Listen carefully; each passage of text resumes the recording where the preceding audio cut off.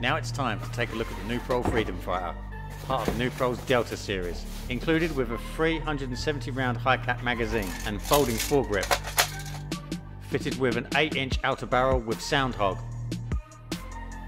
fully adjustable rear and front sights, pull the charging handle back to reveal the hop up location, also includes a functional bolt. Battery space is limited so I'll be using an 1100 milliamp battery.